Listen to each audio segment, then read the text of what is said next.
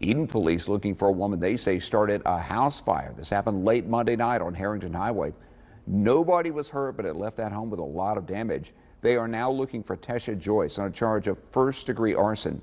Officers haven't given a motive, though, for the crime.